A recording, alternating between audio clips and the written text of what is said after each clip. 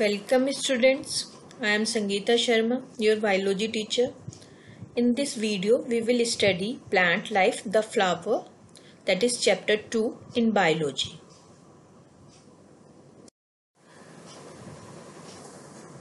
Learning objectives in this video are the flower, parts of a flower, types of flowers, functions of a flower, pollination, types of pollination, fertilization, the fruit, dry and fleshy fruits, function of a fruit, the seed, types of seeds, germination of a seed and types of germination. All these topics we will study in this video. Dear students, in the first chapter we have already discussed about the parts of plant like roots, leaves, birds, fruits. Now in this chapter we will study about the flower. Flower is the most beautiful and attractive part of a uh, plant and it is the main part also because it takes part in reproduction. Now parts of a flower. A flower has four main parts calyx, corolla, androecium and gynoecium. All the four main parts of a flower arranged in four balls. Now in detail we will study about calyx, corolla, androecium and gynoecium. We will study in detail about calyx, corolla, androecium and gynoecium. The first one is calyx. It is the outermost whorl of a flower. It is green in color. It is uh, consists of leaf-like structures called sepals. You can see in your figure parts of a flower, green colors, green color part. This is called the calyx. And you can say it's sepal also. In diagram it is written sepal. Sepal and calyx both are same only. Corolla. Second one is corolla. It is the second inner wall of a flower it consists of brightly colored large and centered structure called petals जो different different colors की petals होते हैं this is called the corolla now third whorl of a flower is androecium it is the male reproductive part of a flower it consists of stamens and anther the anther bears yellow powdery substance called pollen grains. The pollen grains take part in the reproduction of flower. Now the last one, gynoecium. It forms the fourth innermost whorl of a flower. It is the female reproductive part of a flower. It is composed of one or more carpels or pistils. Each carpel or pistil is composed of stigma, style and ovary. Means Gynoecium has stigma, style and ovary. Stigma is the sticky disc-like terminal part. Style is the long narrow thread-like tube. Ovary is the swollen part which contains eggs which called ovules. In this table we will study about flower parts and their functions. Sepals Sepals protect the inner part of a flower at its bud stage. Petals protect the essential whorl of a flower and attract butterflies because it is very beautiful, scented and different different colors.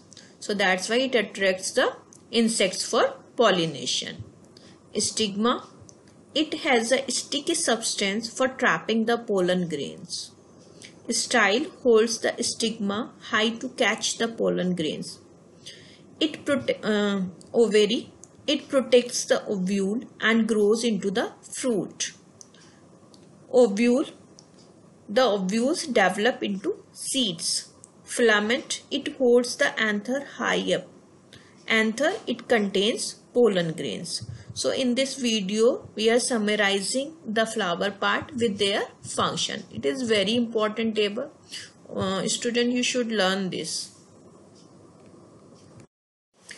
this is the activity one this activity students you can try at home only the uh, china rose you need china rose means hibiscus in hindi we say it gulhal flower you can take a hibiscus flower and you can observe the part of flower in it. Like sepals I told you the green part outermost and after that sepals the scented um, color petals. And after that inner whorl stigma style all these you can clearly see in hibiscus because it's a big flower. Uh, you can easily find it also and easily see also so you have to do this at home by yourself. Types of flowers. There are two types of flowers bisexual and unisexual. Bisexual means which has both male and female parts. Rose and hibiscus are the example of bisexual flowers. Unisexual which has only either male part or female part. Means ki anyone and the examples are papaya flower is the example of unisexual and bisexual examples rose and hibiscus. Flower main function is reproduction.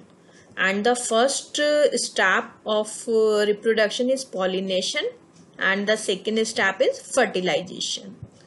What is pollination then? The process of transfer of pollen grains from anther to stigma. It can be of the same flower or same plant or it can be from the other flower or other plant or this is known as pollination. Again the proper definition is the process of transfer of pollen grains from the anther to the stigma of the same flower or another flower of same type of plant is known as pollination. Now types of pollination. There are two types of pollination, self and cross pollination. Self pollination when the pollen grains from an anther of a flower are transferred to the stigma of the same flower or another flower of the same plant. Keep it in the mind same plant. Self-pollination means in the same plant. It is termed as self-pollination. The self-pollination occurs naturally. This word also you have to keep it in mind. The self-pollination occurs naturally means this pollination does not need any agents for pollination. It occurs by itself. So see the figure. Figure A transfer of pollen grains from anther to the stigma of the same flower. You can clearly see in this figure anther and stigma and there is a transfer of pollen grains from anther to stigma. And in the second figure transfer of pollen grains from anther to one flower to the stigma of another flower of the same plant. These both processes are called self-pollination. Cross-pollination when the pollen grains are transferred from the anther of one flower to the stigma of another flower of the same type, it is termed as cross-pollination. It occurs through external agents. Just now we discussed about self-pollination means it occurs naturally and there will be no need of the agents. But in cross-pollination, we need this in this pollination external agents. Now in the next slide we will study about the agents by which help we, the cross pollination will happen. You First you can see the figure stigma, anther, transfer of pollen grains from one flower to another flower. Agents of cross pollination Cross-pollination takes place by various external agents like wind, water and insects. The first one is pollination by wind. Some plants like maize and wheat have dry and light pollen grains produced in a large quantity. As the flowers of these plants get matured, pollen grains are blown away by the wind. Some of these pollen grains fall on the stigma of a flower of the same type, thus resulting in pollination. So with the help of the wind, the pollen grains blown away from one plant to another. Second one is pollination by water. In some aquatic plants like Hydrilla and Vallisneria, the male flowers are complete, completely submerged in water. On maturity, they get detached and float on the surface of water. It has been separated The female flower that has a long stalk also floats on the surface of water.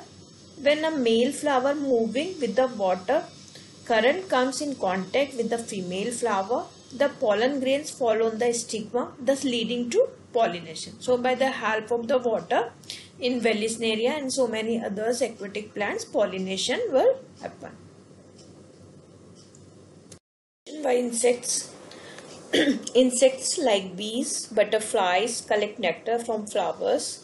When these insects alight on a flower, means when they come in contact with the flower, the pollen grains stick to their bodies when they visit another flower, the pollen grains are transferred to the stigma, thus leading to pollination. Means when they went from one flower to another, pollen grains are stick in their bodies and they transfer from one flower to another and leading to a pollination.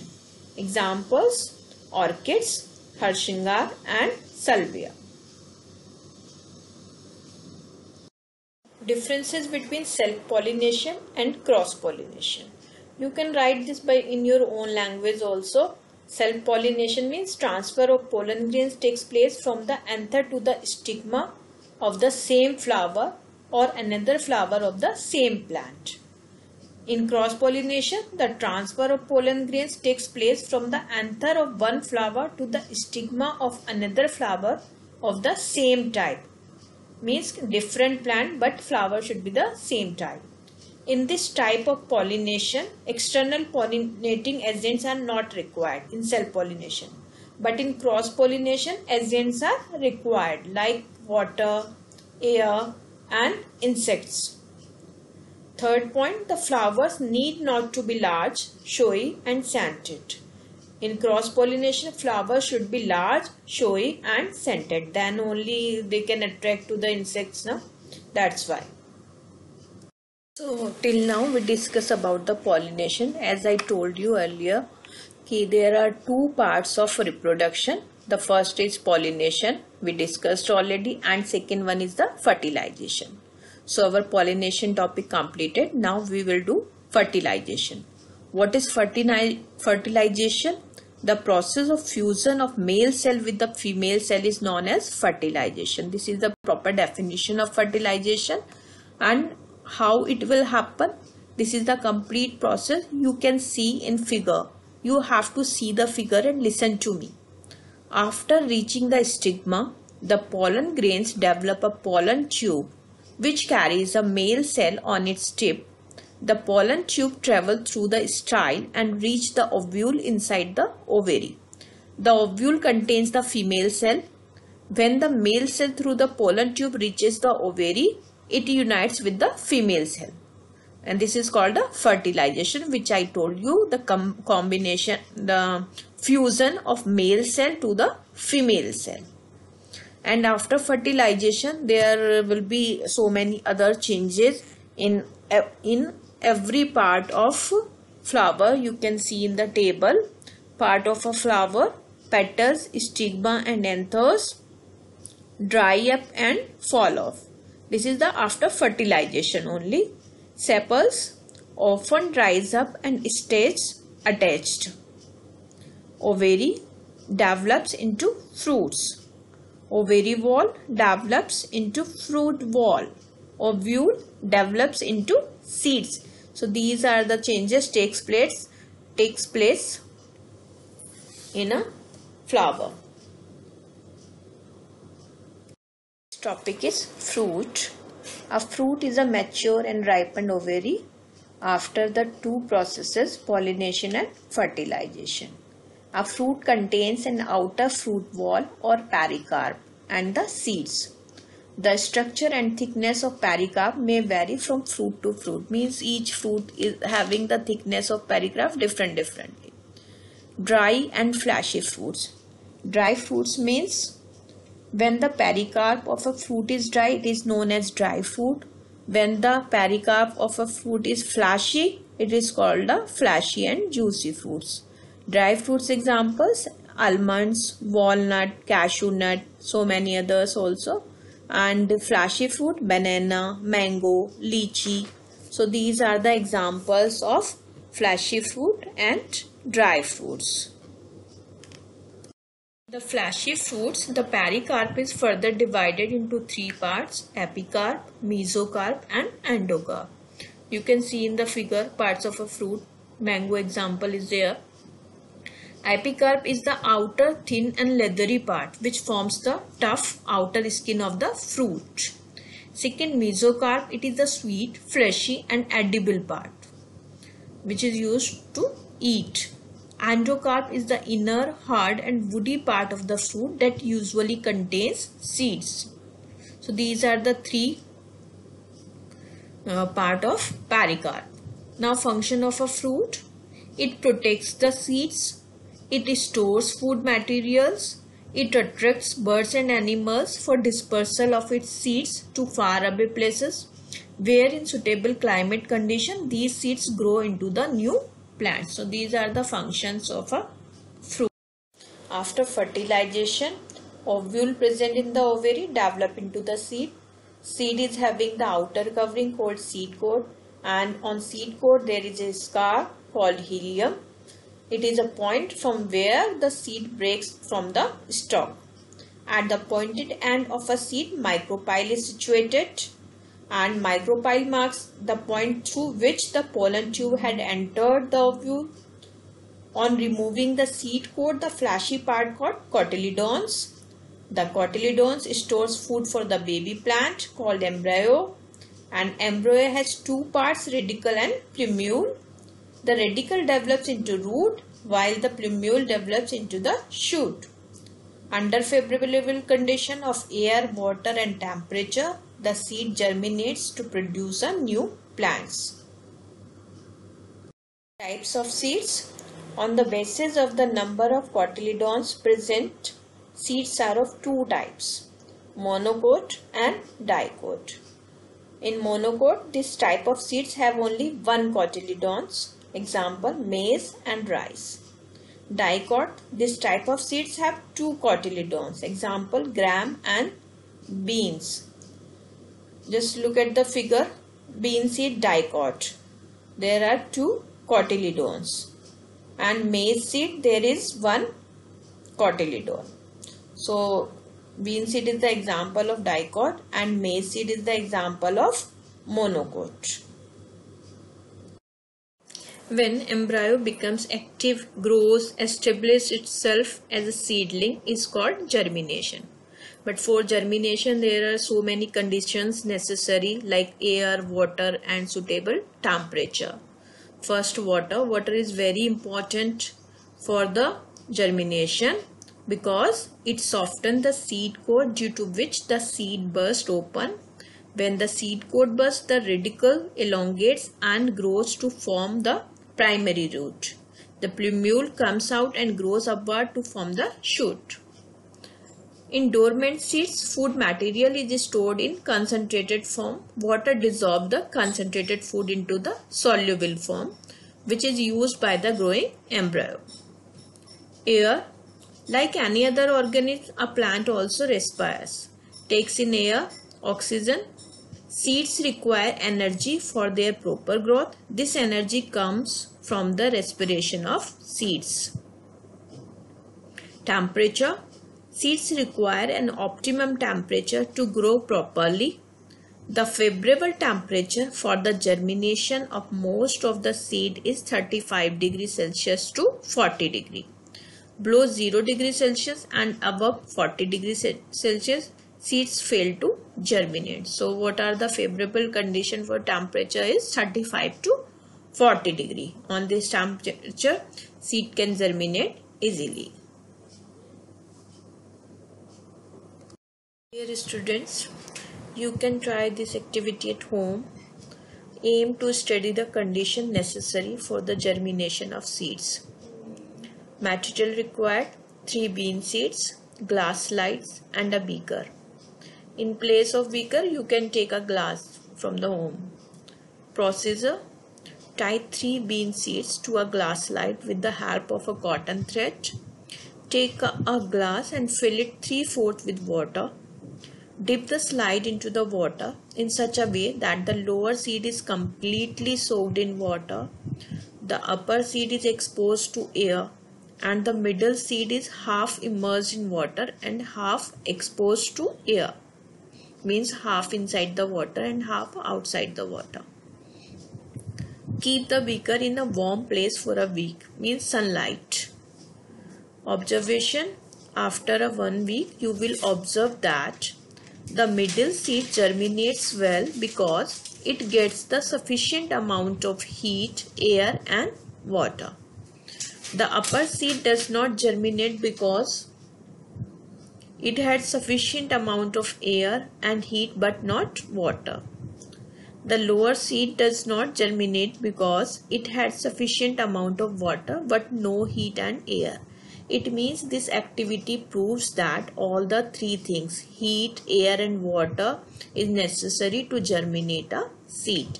If anything is in less amount then seed will not germinate. So if you want you can try this at home. You can take rajma seed or uh, chana seed at home. Next topic is types of germination. A seed can be germinated by two ways, epigeal germination and hypogeal germination. In epigeal germination, cotyledons just emerge above the ground. And in hypogeal germination, in monocot seeds, cotyledons just below the ground, remains below the ground. You can see in the figure, bean seed is carried above the ground with the developing shoot. This is called the epigeal germination and the example of hypogeal germination is in maize seed. You can see in figure B, maize seeds remains underground. And what will be the definition of epigeal and hypogeal? In dicot seeds, the cotyledons thick with stored nutrients emerge above the ground during germination and then transport the stored nutrients to the developing seedling. This type of germination is known as epigeal germination. And hypogeal germination in monocot seeds contain only one cotyledon. When these seeds germinate, the cotyledon remains below the ground. And this is called the hypogeal germination. And the examples maize, groundnut and mango. Now your chapter is completed. I am summarizing the chapter. Flower is the most beautiful and attractive part of a plant. A flower performs the reproduction in plants. Calyx or petals are green color structure which form the outermost whorl while corolla or petals are colored other than green structures from second inner whorl of a flower. Androecium and gynoecium are the third and fourth whorls. The main function of the flower is to produce fruits and seeds. The process of transfer of pollen grains from the anther to the stigma of the same flower or another flower of the same type is known as pollination. This is the proper definition of pollination. It is of two types, self and cross. Cross pollination of plants take place by various external agents like uh, air, water, birds and insects. The process of fusion of the male cell with the female cell is known as fertilization. The fruit is a matured ripened ovary. On the basis of the number of cotyledons present, seeds are of two types, monocots and dicots. If one uh, cotyledon present, then monocot and if two cotyledons present, then dicots. Germination of a seed is a process in which a dormant embryo becomes active and establishes itself as a seedling. Sufficient amount of water, air and suitable temperature are the conditions necessary for the germination of seeds. A seed can be germinated either by epigeal germination or by hypogeal germination. Means two types of germination is there in your book. Epigeal and hypogeal germination. So your chapter is completed now. Thank you students for watching this video. After watching this video, you have to write your name, class and section in the comment box.